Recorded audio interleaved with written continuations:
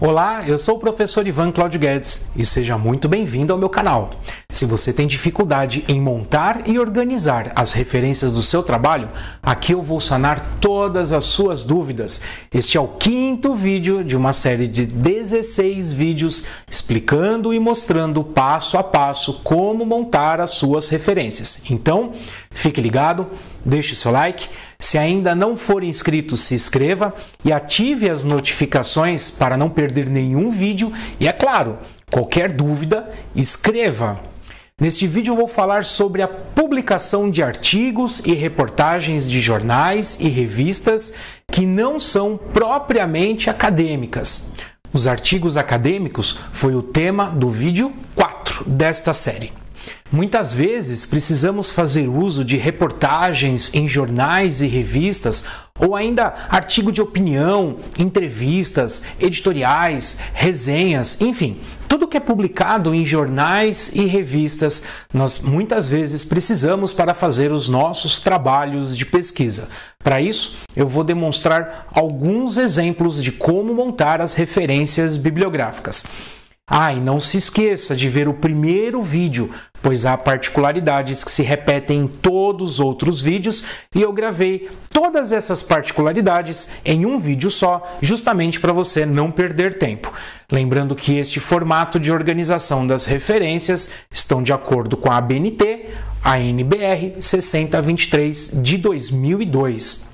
No caso de jornal, eu vou mostrar a mesma reportagem em meio eletrônico e na versão impressa para você ver a diferença.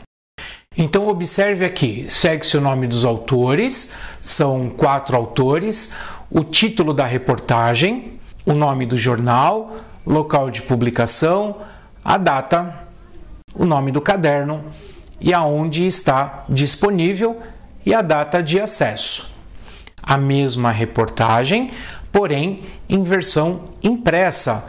Nome, os nomes dos autores, título da reportagem, o nome do jornal, local de publicação, data de publicação, o nome do caderno em que se encontra e a página. Lembrando que neste outro exemplo segue-se a mesma reportagem, porém usando um encurtador de link, como eu já expliquei no segundo vídeo da série. Repare que na versão impressa a notícia está no caderno cotidiano, na versão online está em educação.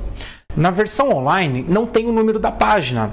Os demais itens são todos iguais.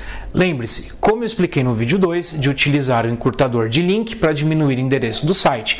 Lembrando que, como eu expliquei no primeiro vídeo, você tem quatro autores. Você pode escrever somente o primeiro e colocar o etial depois.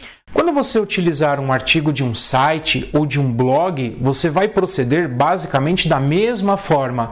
Veja este exemplo: o nome do autor, o título do texto, o título do blog, a data de publicação, o endereço do texto e a data de acesso, como está neste exemplo aqui. Veja que neste exemplo não há indicação de página nem de local de publicação. Isso porque nem todos os sites indicam o local de publicação. Neste caso, se não tem, não ponha, mas procure sempre indicar todos os elementos essenciais para que seu documento seja identificado. Por fim, quando você utilizar uma reportagem ou um texto em que não tem autoria, você vai fazer a referência começando pelo título com a primeira letra maiúscula. Veja este exemplo título da reportagem com a primeira letra em maiúscula, destacado, local de publicação, a data de publicação e o endereço, bem como a data de acesso. Bem, é isso. Caso tenha alguma dúvida, escreva. Se eu esqueci de algum detalhe ou alguma variável, escreva. É um imenso prazer ajudar nos seus trabalhos. E por favor, me ajude também. Deixe seu like no vídeo, escreva se gostou, se não gostou e compartilhe com seus amigos. Isso ajuda muito no canal e me ajuda na mesma proporção que eu estou te ajudando. No próximo vídeo vamos tratar de eventos acadêmicos. Um forte abraço e até o próximo!